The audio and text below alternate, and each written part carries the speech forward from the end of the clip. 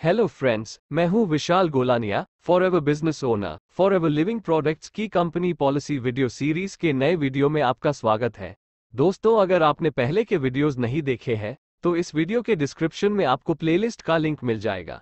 पूरे प्लेलिस्ट को आप स्टार्टिंग से देखें तभी आपको आगे के वीडियोस और अच्छे से समझ में आएँगे। कंपनी पॉलिसी लास्ट अपडेट, अगस्त 2022 ये कंपनी पॉलिसी का दूसरे चैप्टर का ही भाग है। इंपॉर्टेंट डेफिनेशंस यानी महत्वपूर्ण परिभाषाएँ। Cooling off period direct selling नियमों के क्लॉज थ्री वन बी के अनुसार कूलिंग ऑफ़ पीरियड का मतलब प्रीफर्ड कस्टमर एफबीओ को अपने समझौते, यानी ज्वाइनिंग एग्रीमेंट को रद्द करने के लिए दिया गया समय है, जो उसने डायरेक्ट सेलिंग में भाग लेने के लिए किया है। ज्वाइन होने की तारीख से 30 दिनों की अवधि तक प्रीफर्ड कस्टमर एफबीओ के लिए कूलिंग ऑफ़ पीरियड माना जाएगा। इस कूलिंग ऑफ़ पीरियड के दौरान, वह कंपनी के साथ किए अपने ज्वाइनिंग एग्रीमेंट को रद्द कर सकता है, या रद्द कर सकती है। इस कूलिंग ऑफ़ पीरियड के दौरान, प्रिफर्ड कस्टमर एफबीओ किसी भी पूर्ण विक्रिय योग्य, उपयोग करने योग्य उत्पाद को वापस कर सकता है, जो अच्छी स्थिति में है। और कंपनी पॉलिसी तहत उल्लिखित स्वैच्छिक समाप्ति यानी वॉलंटरी टर्मिनेशन का विकल्प चुनकर कंपनी की बाई बैक नीति के अनुसार पूर्ण धन वापसी यानी फुल रिफंड प्राप्त कर सकता है। चेयरमैन बोनस मैनेजर यानी सीबीएम एक एफबीओ जो वार्षिक चेयरमैन बोनस प्राप्त करने के लिए योग्य है, उसे चेयरमैन बोनस मैनेजर कहा जाता है।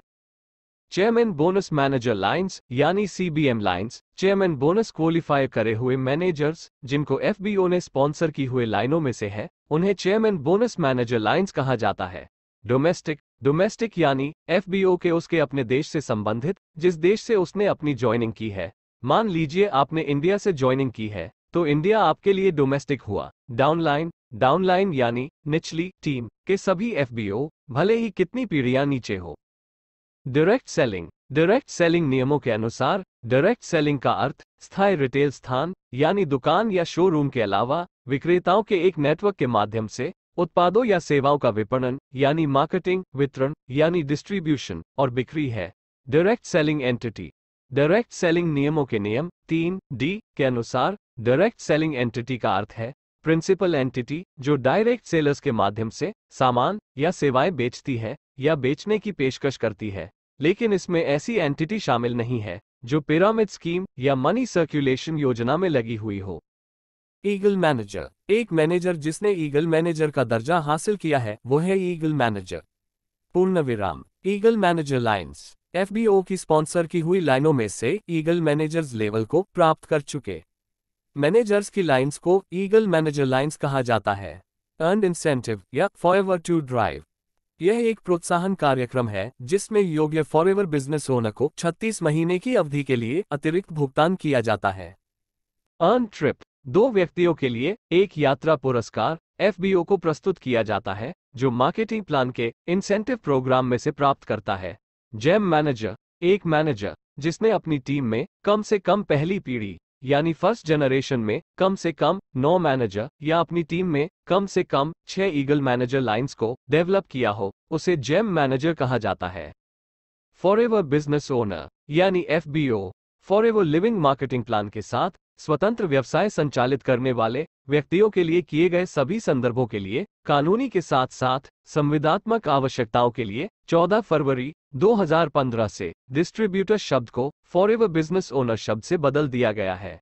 फॉर बिज़नेस ओनर शब्द कंपनी की नीति के साथ साथ डिस्ट्रीब्यूटर के रूप में व्यक्ति द्वारा हस्ताक्षरित डिस्ट्रीब्यूटर एप्लीकेशन फॉर्म के सभी पूर्व अनुबंधित बाध्यकारी खंडों के लिए लागू हो गया है। इस संदर्भ के लिए अन्य सभी दायित्व समान रहेंगे। कोई भी भारतीय निवासी, जिसकी आयु 18 वर्ष या उससे अधिक है, जिसका नाम for ever business owner application पर दिखाई देता है जिसे कंपनी द्वारा स्वीकार किया गया है, जिसने किसी लगातार दो महीनों के भीतर दो सीसी के उत्पाद खरीदे हैं, वह थोक योग्य, यानी होलसेल क्वालिफाइड है, और वह थोक मूल्य, यानी बोनस रिकैप मूल्य से 30 प्रतिशत तक के डिस्काउंट प्राप्त करने के लिए योग्य है, और मार्केटिंग प्लान के मुताबिक उसका जो लेवल है, इसके तहत वह अपने व्यक्तिगत खरीदी के बोनस रिकैप मूल्य के पाँच प्रतिशत से अठारह प्रतिशत तक व्यक्तिगत बोनस के लिए भी योग्य है।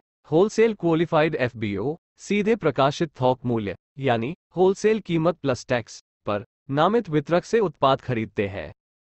फॉर एवर बिज़नेस ओनर जो कि कंपनी में शामिल होने पर कंपनी का डायरेक्ट सेलर बन जाता है।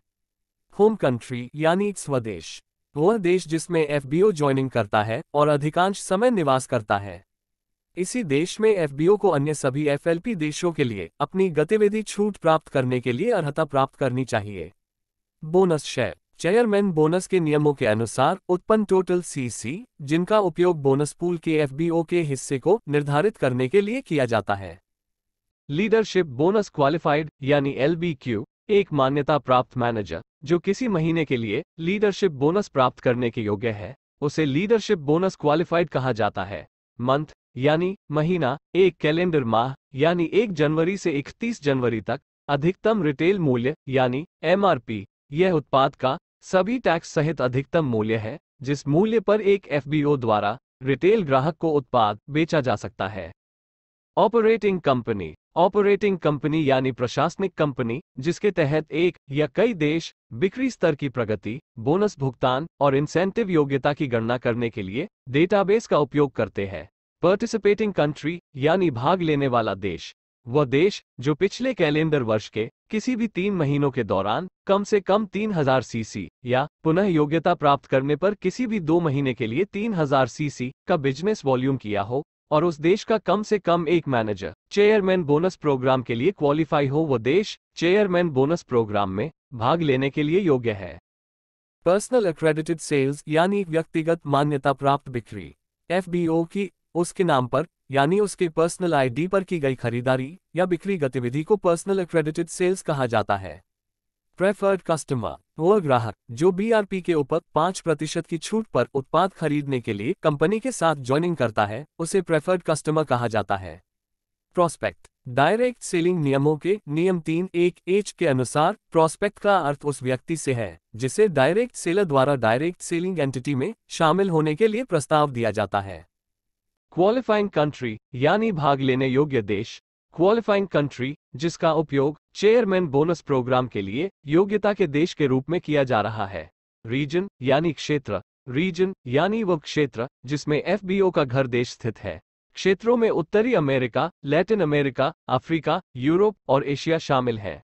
रीस्पॉन्सर्ड एफबीओ यानी फिर से ज्वाइन कराया गया एफबीओ वो एफबीओ जिसने पिछले 12 महीने की कोई गतिविधि के बाद अपना स्पॉन्सर बदल दिया है, उसे री स्पॉन्सर्ड एफबीओ कहा जाता है। रिटेल कस्टमर यानी रिटेल ग्राहक। रिटेल कस्टमर यानी वह ग्राहक जो अधिकृत चैनलों के माध्यम से एफएलपी उत्पाद खरीदता है और उसने कंपनी को भौतिक यानी फ़िज़िकल या डिजिटल रूप से फॉरएवर बिज़नेस ओनर फॉर्म जमा करके प्रिफर्ड कस्टमर बनने के लिए अभी तक आवेदन नहीं किया है। सेलेबल कंडीशन यानी बिक्री योग्य स्थिति। डायरेक्ट सेलिंग नियमों के क्लॉज तीन एक जे के अनुसार बिक्री योग्य का मतलब है, उत्पाद के संबंध में बिना इस्तेमाल किया और मार्केटिंग योग्य जो समाप्त नहीं हुआ है और जो मौसमी, बंद या विशेष प्रचारक सामान नहीं है। सामान की ऐसी स्थिति को सेलेबल कंडीशन यानी बिक्री योग्य स्थिति कहा जाता है। सेल्स लेवल यानी बिक्री स्तर एफबीओ और उसके डाउनलाइन के संयुक्त सीसी द्वारा प्राप्त विभिन्न लेवलों में से कोई भी लेवल जैसे कि assistant supervisor supervisor assistant manager और मैनेजर ये सभी सेल्स लेवल्स है। स्पॉन्सर यानी स्पॉन्सर या प्रायोजक, एक एफबीओ या प्रिफर्ड कस्टमर जो व्यक्तिगत रूप से किसी अन्य एफबीओ या प्रिफर्ड कस्टमर को साइन अप करता है, उसे स्पॉन्सर कहा जाता है। अपलाइन एफबीओ की ऊपर की लाइन में जो एफबीओ या प्रिफर्ड कस्टमर है, उसे अपलाइन कहा जाता है। वेवर यानी छूट। वह एफबीओ को पुरस्कृत किया जाता है, जो एक ऑपरेटिंग कंपनी में बोनस के लिए अर्हता प्राप्त करने के लिए कुछ आवश्यकताओं को पूरा करता है, जो अन्य सभी ऑपरेटिंग कंपनियों में अगले महीने के लिए उन आवश्यकताओं के बदले में स्वीकार किया जाता है। एक्टिविटी क्वालिफिकेशन वेवर यानी गतिविधि योग्यता छूट, एक एफबीओ, जो चार सीसी, व्यक्तिगत और पसंदीदा ग्राहक के साथ करके जो अपनी होम ऑपरेटिंग कंपनी में सक्रिय है वह अन्य सभी ऑपरेटिंग कंपनियों में अगले महीने के लिए एक गतिविधि छूट प्राप्त करता है। लीडरशिप बोनस क्वालिफिकेशन वेवर यानी लीडरशिप बोनस योग्यता छूट, एक मान्यता प्राप्त मैनेजर, जो एक्टिव है, या एक गतिविधि योग्यता छूट प्राप्त कर चुका है, और चालू महीने के दौरान किसी भी सिंगल ऑपरेटिंग कंपनी में personal non manager CC leadership bonus आवश्यकता को पूरा करता है। वो अन्य सभी ऑपरेटिंग कंपनियों में भी अगले महीने एक लीडरशिप बोनस छूट प्राप्त करेगा। Web store my for India mobile app और www.allostorindia.in के माध्यम से आधिकारिक ऑनलाइन शॉपिंग विकल्प उपलब्ध है। होलसेल क्वालिफाइड यानी थोक योग्य, जो एफ़ थोक मूल्य यानी होलसेल कीमत पर उत्पाद खरीदने का अधिकार प्राप्त कर चुका हो, वह एफबीओ होलसेल क्वालिफाइड एफबीओ कहा जाता है। किसी एक ऑपरेटिंग कंपनी में लगातार दो महीनों के भीतर दो सीसी खरीदने के बाद फॉर एवर बिज़नेस ओनर स्थायी रूप से होलसेल क्वालिफाइड यानी थोक योग्य होता है। होलसेल प्राइस डब्ल्यूएचपी यानी थोक मूल्य। वो मूल्य, जिसमें स्थानीय टैक्स शामिल नहीं है, जिस मूल्य पर उत्पादों को उस एफबीओ को बेचा जाता है, जो थोक योग्य, यानी होलसेल क्वालिफाइड है। इस कीमत पर बीआरपी से 30 प्रतिशत की छूट दी गई है।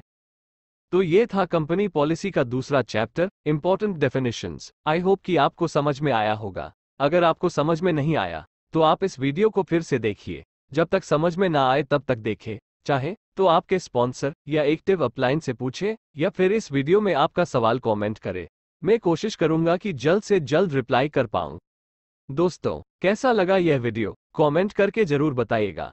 वीडियो को लाइक ज़रूर करिएगा। इस वीडियो को और कंपनी पॉलिसी सीरीज़ के प्लेलिस्ट को शेयर कीजिए अपने सभी टीम मेंबर्स को, ताकि वह ज़्यादा से ज़्यादा सीख सके, उनकी टीम को सिखा सके, और अपने बिज़नेस को बढ़ा सके। ऐसे ही नॉलेजेबल वीडियोस को देखने के लिए इस चैनल को सब्सक्राइब कर लीजिए। नोटिफिकेशन बेल को ऑन कर लीजिए ताकि आने वाली हर एक वीडियो का नोटिफिकेशन आपको सबसे पहले मिल सके। मिलते हैं दोस्तों अगले वीडियो में। जय हिंद।